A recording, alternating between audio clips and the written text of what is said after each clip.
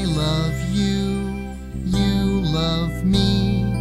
We're a happy family with a great big hug.